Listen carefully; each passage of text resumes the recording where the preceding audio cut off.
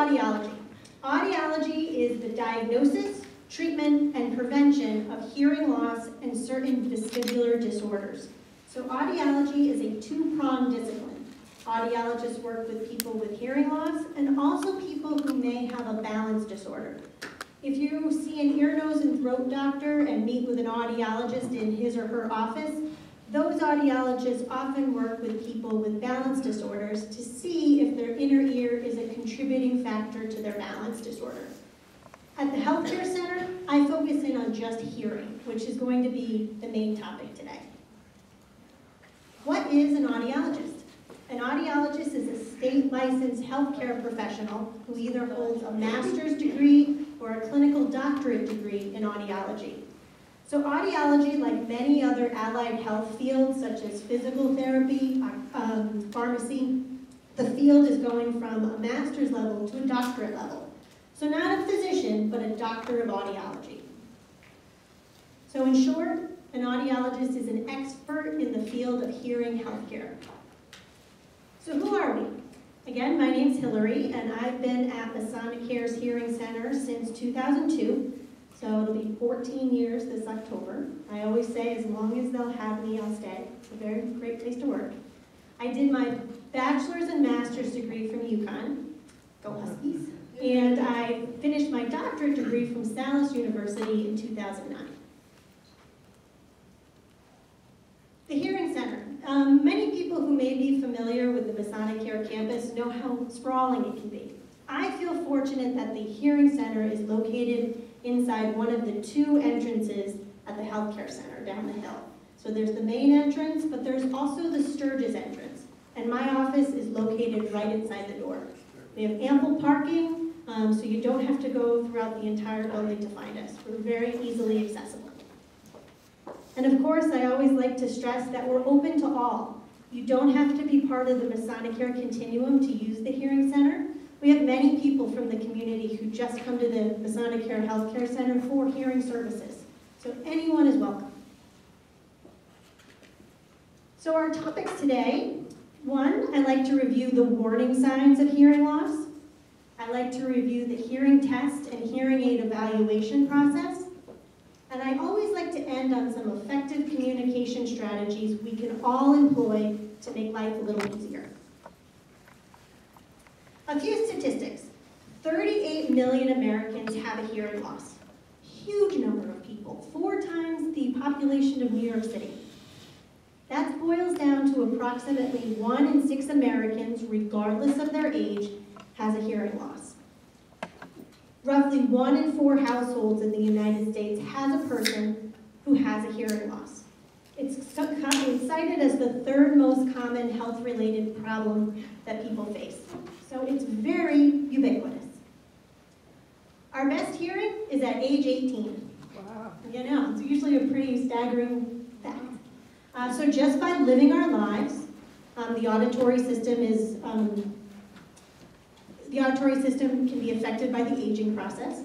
Um, if we have any sort of noise exposure, whether it be occupational noise exposure, recreational noise exposure, that can have a toll on our hearing. Certain um, health concerns can also have an effect on our hearing. It's just like any other um, system in our body. So, it's something we want to address because it's a very common issue. If I think about my preventative health care, I know I get my vision tested once a year. I can't order new contacts unless I get my vision tested. I get my teeth cleaned twice a year. And while I'm leaving one appointment at the dentist, they're already signing me up for one six months out. I have a physical every July. But people usually don't think about putting hearing on that checklist. So here we have this problem, hearing loss. That's the third most common health-related problem. And usually people don't add that to their preventative health list. So I would encourage people, as long as the whole audiology community is, to get their hearing screened. Screenings are a quick, simple way to see if you need any further hearing test. Screenings are pass-fail. We test both ears to see if you can hear at a normal level. If you pass, wonderful. If you don't, then we know you need a more comprehensive test. It's something that you should do periodically, maybe every 18 to 2 years. Of course, if you notice a shift in your hearing, we want to see you sooner, but it's something to add to that preventative health care list. At the healthcare center, we offer free hearing screenings, which is usually lovely. They're 15 minutes, um, so no time commitment, and it's a simple pass-fail. So if you're thinking about needing a hearing screening, it's a very nice way to start. Thank you. What if you've already noticed a change in your hearing? So it's not that you just need a screening to determine, make sure that everything's normal, but what if you're experiencing some sort of shift? There are warning signs to hearing loss. Everything on this slide tends to be the more obvious one. If you had a decline in your hearing, pretty obvious. Could be in one ear, could be in two ears. If you've had a sudden shift in your hearing, meaning the shift has happened over the course of a few weeks, a few days, even overnight, that's usually something that people would immediately get some um, medical assistance.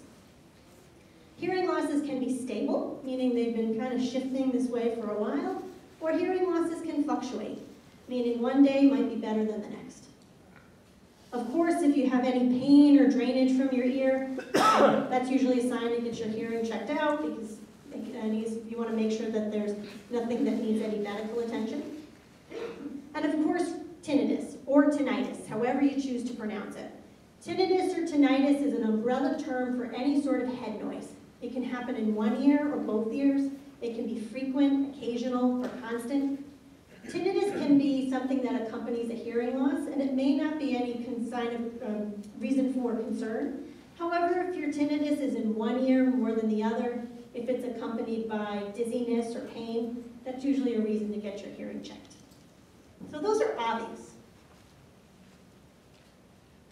The second thing I highlight are the less obvious ones, communication difficulties. These tend to be much sneakier. So if I pull up an audiogram, this is the crux of what we work off of, an audiogram. The numbers along the bottom represent different pitches, also known as frequencies.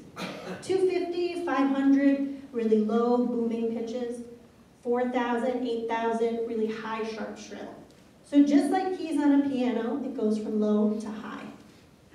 This side of the graph, the y-axis, represents decibels, a term, a measurement of volume. 0 to 20 would be incredibly soft. 100, 120, incredibly loud. So what we want to do is to see which sounds you can hear and at which level. Now ideally, I'm doing this with my left hand, there we go. We would want to hear 100% of those pitches at zero decibels 100% of the time. But when we lose our hearing, it's not all or nothing. Where most adults first notice a shift in their hearing is in that high-pitched, high-frequency area. So for the low booming pitches, it's within normal limits, and as that pitch increases, those high pitches become harder to hear. Now, if we look at it in terms of speech, what does that mean? The parts of speech that fall in that low-pitched, low-frequency area are the vowel sounds. Vowel sounds give speech its energy, give it volume, because we're able to hear because of the vowel sounds. In the high-pitched area, those are where the consonant sounds are. Consonants are incredibly crucial for making speech sound clear. So for uh, most adults, when they see a shift in that high-frequency area, they often say, I can hear you, I can't understand you all the time. So people who predominantly have that high-pitched hearing loss often tell me this. Go to my slide. Everyone is mumbling. Things don't sound clear. My uncle says this, my Uncle Bob. He said, you're all mumbling. And we had to say to him, Uncle Bob, the whole world didn't start mumbling at the exact same moment. Might be your hearing. I can hear you, just not understand you. So most of that parts of speech is coming through, just not 100% of it. You may need repetition. Because you're not hearing all those crucial parts of speech, you're constantly trying to fill in the blanks, going by visual cues, uh, contextual cues. So if you're not able to hear it that first time around, you ask for repetition. You might be misunderstanding words because of those differences of the consonant sounds. If you're not able to hear them, can, you might be mistaking one word for another. This happened uh, last Thanksgiving with my uncle again. Um, we were at the Thanksgiving table, was the end of the day, there were about four or five of us on one side, and my cousin Gary says how he found an internet radio station he loves. He says it's all comedy, comedy bits. It's great. My uncle, who has the hearing loss, why are you listening to communist radio stations? so you can see the difference. Comedy, communist, totally changed the meaning. So he was misunderstanding one word for another. My Uncle Bob has a great sense of humor, so he laughed it off. Family and friends may complain that the television is too loud. This is always a great objective gauge. People say, you know, I used to have the TV at about a 30, now I'm cranking it up to a 45, and my spouse doesn't really care You might have difficulty on the phone. When you think about the phone, it's solely based on auditory information. You can't see the person, so you're going solely by your hearing. And because of that, that might be one of the first places that you notice some difficulty. You might have difficulty in noisy environments. Makes sense. One-on-one in a quiet room might be a slam dunk, no problem whatsoever. But you get into a restaurant where there may be some background noise, if you're grocery shopping and you have lot of ambient noise around you, it can be even harder to make out what's being said. People say to me all the time, I read lips. And we all do that to a certain degree. We get a ton of visual information when we can, or cues of speech when we can see the person. So you find that you have to face the person in order to understand what they're saying. And many people often say they're exhausted by the end of the day. You use so much effort to try to figure out what's being said that it can be fatiguing. So much so that people might refrain from doing some of the things they love to do because it's exhausting. They so much effort to hear. So far, so good? So what do you do next? If you or your loved one identify with any of those warning signs, rather than doing a screening, I'd recommend a more complete test. The goal of the hearing test is to make sure that you don't need any medical intervention, that you don't need to see the physician to see if it's something that can be treated. So case in point was, I had a gentleman one time who said to me, Hillary, I need a hearing aid, I can't hear in my left ear. It's okay. Came down, we did a hearing test. We found that he had some fluid behind his eardrum. Very common in kids. We see that in kids all the time. But not quite as common in adults. So since we noticed that, we referred him back to his physician, found that he had an ear infection. He was treated for that, and his hearing went back to baseline. Now, is that the norm? No. But that's what we want to make sure that we don't need. Medicare requires a physician's referral prior to testing, which um, we can always facilitate for them. And at the Hearing Center, we accept most major insurances for the hearing test. And I know you're all eating, but I always have to do a little slide on wax. It's normal to have wax. Um, it serves a purpose. Some people never have a wax problem. Some people might have to see the physician three or four times a year to get their ears flushed out. Most hearing losses are not caused by wax, but it can interfere with how we conduct the test. With a hearing test, we want best case scenario. So we look in there, make sure you don't have any extra wax. If you do, either I can take it out or sometimes we refer to the physician. Once you get the wax out, then we can do the hearing test. That way we get really good, valid results. With the hearing test, we're doing two things. We want to see the softest level you can hear, demonstrated by the audiogram a few moments ago, but we also want to see how well can you understand speech in different circumstances. Quiet would be best case scenario, but we also do a little bit of testing in noise in the sound booth to see how you do under those more challenging situations. Again, to every, the goal is to make sure that everything is medically sound, and we always write up a evaluation and a report to send to the referring physician. Okay, so when we think about how we hear, we think about our ear. But we actually don't hear with our ear, we hear with our brains. Our ear picks up the sound, but our brain does all the processing. Our brain remarkably does four things all the time. Our brain needs to tell us where sound is coming from. So is it somebody calling my name from the front or from behind me? Is it an alarm coming from my right or the left? Is it um, a dog barking from the right side or the left side, we need to tell where that sound is originating from. Then we need to be able to recognize what that sound is. Is it speech, music, noise, an alarm, that dog barking? With all that auditory information coming at you from all different directions potentially, our brain's able to focus in on what we want to hear. If I'm at a noisy restaurant and the waiter comes over, my brain allows me to focus in on what that waiter's saying and not allow the background noise to overcome it. Then, as I'm talking to that waiter, my brain needs to separate out all those parts of speech so that I can understand what's being said. All of that happens very quickly and miraculously. However, when your ear is, has a hearing loss and your, it doesn't allow your brain to get all that important information. So what happens is your brain has to work even harder to figure out what's being said. It takes much more effort and you're not able to hear those fine details of speech. One area of research that's really coming to light is how a hearing loss can affect our cognition. Because our brain is using a ton of resources to figure out what's being said, a lot of research is going into how can that affect our cognition over time. And one area is they're, they're looking into, does treating a hearing loss by getting something like hearing aids, can that have an effect on our cognition over time? So you may see in the marketing materials that you, about hearing that may come to you, a lot about brain hearing and how well, or how a hearing loss can affect your cognition. It's important to determine that if you get any of that information, that it's information that's based in research. And if you have any questions about something that's being sent to you, an audiologist like myself can help you navigate that. That was a yellow. It's the That's great, sorry about that. sorry. About That's okay. Um, one person, uh, Frank Lin, based out of Johns Hopkins, is doing a lot of studies on hearing loss and cognition. He's an otolaryngologist, so an ENT, and he is an epidemiologist, so he researches how things come about.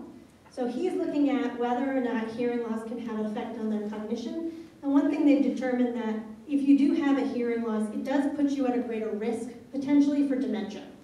Um, it's not a cause, it's just an increased risk factor. It's like if you had a um, poor diet and a lack of exercise, that puts you at a greater risk for heart disease. So now they're trying to determine if hearing loss is a contributing factor to changes in our cognition. One thing that we definitively know is that untreated hearing loss can have a negative, negative effect on our quality of life.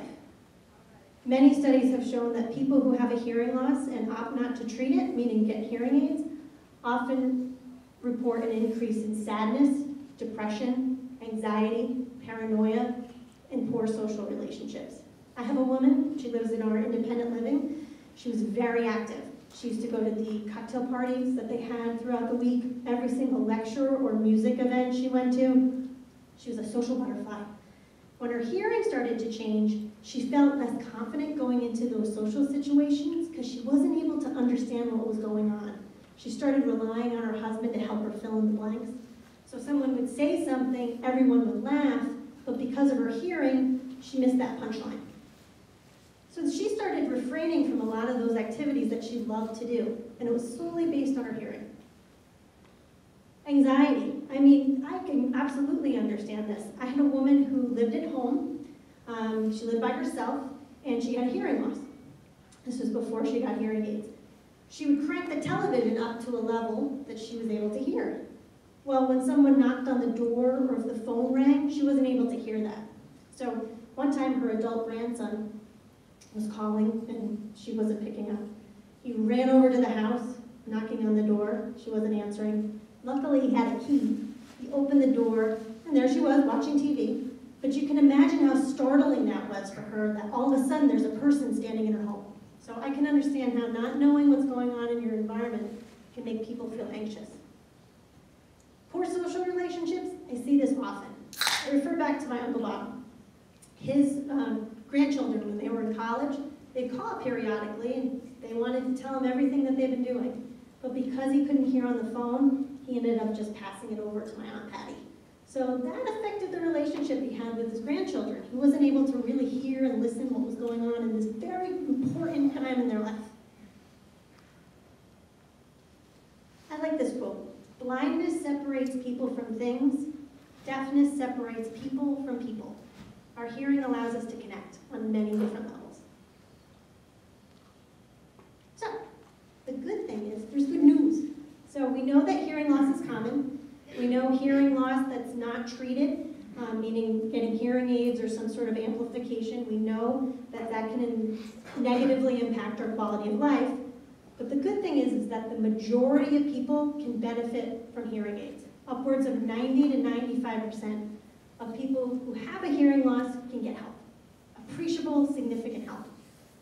I look at it like if you had an ailment and your physician said to you, I have a treatment that's going to work 99, 90 to 95% of the time, that's incredibly encouraging. So if people say to me, I tried hearing aids and they don't work, that for me begs more questions. I want to know what they've tried, what they've done, what made them feel that way, because usually there's a solution. The National Council on Aging show that 71% of people who wear hearing aids report an improvement in life overall. That's huge. 74% of hearing aid wearers report an improvement in relationships at home. If you're able to hear and understand the conversation, if you don't have to ask for repetition, it's incredibly less frustrating for both the listener and. 67% of hearing aid wearers report an improvement in self-esteem. If you can go into social situations, hear the punchline, respond appropriately, throw your ten, two cents in confidently, that can be a huge improvement to your confidence. How do hearing aids assist? What they do is they don't restore your hearing back to normal, but what it allows you to do is get more of that crucial information, those fine details of speech, so that you can understand it. Hearing aids work together. They help you tell where sound is coming from. So the reason why I know that um, if someone says my name on the left-hand side, the reason why I know they're on the left-hand side, because that sound hits my left ear before it hits my right ear. My brain uses those cues to tell where sound's coming from. It's important to remember that your hearing is as unique as your fingerprint. And when it comes to talking about hearing aids, it's prescriptive. It's not a one-size-fits-all approach.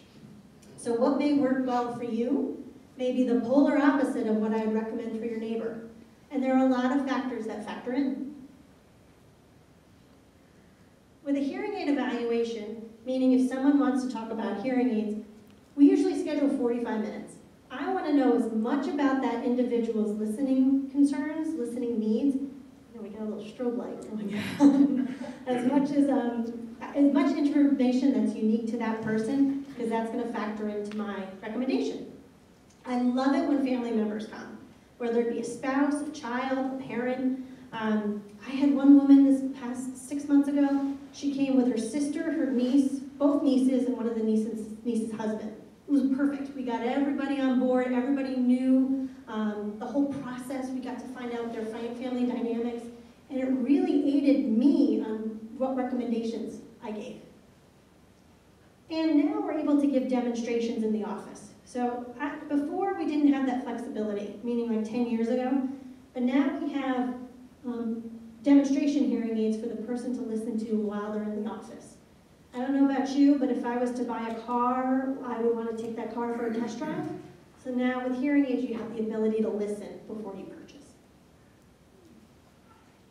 A couple of the hearing aid considerations would be, first, the degree of hearing loss. Does the person have a mild hearing loss or a profound hearing loss? You want something that's cosmetically appealing. I have a couple samples up here. Um, with the technology improving like it is, even people with severe to profound hearing losses are able to get something that's pretty inconspicuous most of the time. I feel like you have to be happy with the way it looks or that hearing aid's just gonna sit in the drawer, which is the last thing we.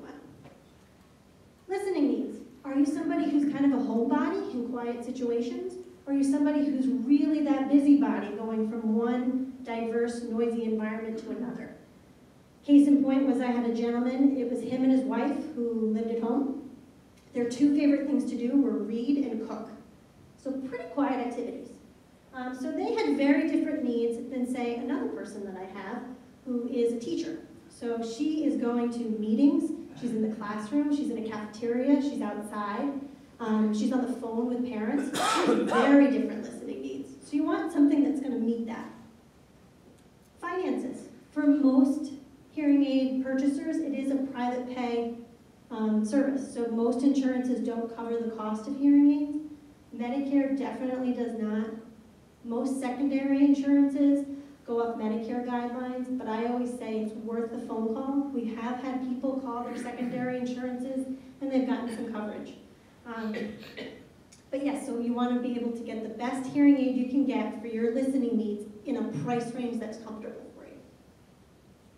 Manual dexterity.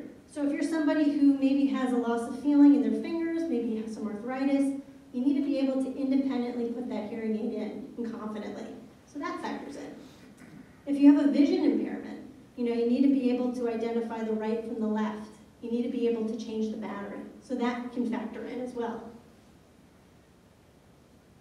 Hearing aid technology has been growing leaps and bounds. I know the cell phone that I got three years ago, they don't even sell anymore. Hearing aids are kind of exactly like that. So what was top of the line 10 years ago may now be obsolete. So people who say to me, I tried a hearing aid 10 years ago, it didn't work for me, apples and oranges. The technology is improving such that, again, we usually can find a solution. And not all hearing aids are the same. A couple things that go into it, directional microphones, meaning there's a microphone in the front, there's a microphone in the back. The hearing aids are constantly deciding if you're in a noisy place versus a quiet place to put the emphasis on what's in front of you. Noise reduction, being able to tell if that sound of the air conditioning is constant and minimize that. Speech enhancement, the hearing aid's constantly sampling the incoming sound to determine is it speech or not speech. And the hearing aid's always going to put the emphasis on that speech sound. These are just a couple of the things that might be available. And it's my job during that hearing aid evaluation process to show you what might be beneficial for you. Hearing aids are becoming more and more connected to the devices that we use every day. So whether it be a television, a cell phone, our phone, our cell phone, um, or computer, our hearing aid needs to be connected to it. So I have a couple samples up here. We have, most of the major hearing aid companies have a version of this, a streamer. A person would wear it around their neck and sound would transmit from the streamer to their, to their hearing aids. So if they have a cell phone, it's going to simply hit a button, that sound's going to go to both hearing aids. It can connect to your television. So I know with my parents, my dad tends to crank the television up more than their mom, my mom. So we have him using this, where it transmits the sound of the TV to the streamer to both hearing aids. So that way they can independently adjust the volume to a level they both can agree on. Save the marriage, I think. Um, so there are a lot of assisted listening devices, things beyond hearing aids that can connect to the devices we use all the time. When someone gets a hearing aid, I usually see people three or four times in that first month. It's par for the course to have to expect some adjustments. I had a gentleman one time who said to me, Hillary, I haven't heard the clock tick in two years. This is great. I love it. Two, or three weeks later, I had another gentleman, similar hearing loss, similar hearing aids, say to me, why do I have to hear sounds like the clock ticking? So that for me really demonstrated how some people may welcome sounds, others we might need to do a little counseling on what to expect. It's important to remember that most hearing losses didn't happen overnight. From the time a person first notices a hearing loss to when they actually pull the trigger to get their hearing tested is on average of seven years. So seven years is a long time to get used to these subpar levels. So when they first get the hearing aids, it may be a little overwhelming at first. And it's my job to help people navigate that. The other thing with hearing aids fittings is we want to ensure benefit. Yes, of course we want the person to be subjectively pleased and they feel that they're getting an improvement in their functional communication. But we need to prove it. So with working with an audiologist, we do a, some objective outcome measures. We want to make sure sound is audible and that you're getting benefit in both quiet and noisy situations. So we do things such as visual speech mapping. Um, it's just one of the battery of tests that we like to use to make sure the hearing aid's doing its job. It's important to remember that It takes skill, expertise, and guidance from an audiologist to make sure that you're getting that substantial success. It's the law, when somebody gets a hearing aid, that they have a right of return of at least 30 days. So I work with several different manufacturers, which makes me have a more diverse product line. I'm not married to one particular hearing aid company. I have my favorites, and it ebbs and flows depending on when certain things come out. But you want to make sure that if you're not happy with that first choice, that you have the option of trying a different make or a different model. And if you find, and it happens every once in a while, that it's not something you want to pursue at that particular moment, you do have that right of return. After that 30 days, if someone feels like things are going well and they're good to go, I usually see people every three to six months after. Reason why? We want to make sure the hearing aid's functioning, that it's clean. Maybe the person's listening needs change, we have to do a little adjustment. We get a hearing aid knowing your hearing may change over time. So you want a hearing aid for a good five years. So in the course of that five years, you might have a shift in your hearing. So if you do, barring any sort of monumental shift, we usually can use the existing hearing aid, adjust it to accommodate that change in hearing. If someone has a problem with their hearing aids, it's usually something we can resolve in the office. Um, whether it needs cleaning, maybe a minor repair, an adjustment. It's important to remember that for most hearing aid um, audiologists who dispense hearing aids, when you purchase the hearing aid, you purchase the service. So I can see someone two times or 200 times. You're not billed for that individual appointment. You may incur a cost if it's out of warranty and it needs a, a, a repair. Um, but anything like reprogramming, counseling, adjustments, it's all included. Um, I have people say to me, I, I have been wearing my hearing aid, I didn't want to bother you. I'm like, you can bother me, you know, as much as you need to. We're going to conquer this together. Effective long-term hearing aid treatment, it's a process. It's not an event. So it's not like me when I go to the store, I purchase my cell phone, I obtain the cell phone, and I'm done. That's a transaction. Hearing aids, look at it like a rehabilitation process. If you had a knee injury, you wouldn't go to physical therapy just one time. You'd go over the course of a few weeks to really regain that function. Hearing is very much the same platform.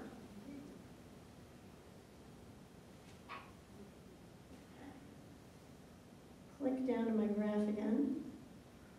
I mentioned er earlier that hearing aids don't restore your hearing back to normal. Sorry about that. I love this graph. This is my favorite graph. Um, it's important that hearing aids don't restore your hearing back to normal, but it's also incredibly important to be mindful of what a realistic expectation is depending on where you are. So if we look at this graph, we have different environments. One speaker, television, small group conversation, those would be quiet environments. But then environments can become more challenging. Restaurant, outdoors, a cocktail party, a wedding reception. Wedding receptions are the most challenging situations. Ideally, we want to hear 100% of what was being said 100% of the time. So if we look at the line all the way to the right, that represents someone, how they would do if they had normal hearing in those situations. If you have normal hearing, one-on-one, -on -one, slam dunk. But even if your hearing's normal, if you are in a place that's particularly challenging, you're not going to hear 100% of what's being said just due to the environment. I went to a wedding uh, last Memorial Day, and we were at a table of 10. It was during the dinner hour, so there was a little music, nothing crazy, and we were kind of in a quieter part of the room. My dad, who has hearing aids, was two over from me. At one point during the dinner, he says, Hillary, I can't hear the people across the table. I said, Dad, neither can I. I never talk to the people across the table because of the distance, the noise, it was impossible. So that to me really illustrated, okay, if you're in a room with 100 people, it's gonna sound like a room with 100 people. If we look at the middle line, the pink one, that represents how people who have a hearing loss, most people who have a hearing loss, how they would perform in those situations if they were using two hearing aids. So you can see it's not quite as good as the normal, but it's close, it's close. So while people, hearing aids don't restore our hearing back to normal, the benefit is huge. The blue one, the line all the way to the left, that represents somebody who has a hearing loss in both ears, but they're opting to use just one hearing aid. Now, whether that be by choice or by the reality of it, maybe they have a dead ear and a hearing aid wouldn't help. But that shows that if you're only using one ear, in a quiet place, you'll do fine, but in a noisy place, you have some substantial difficulty. So far, so good?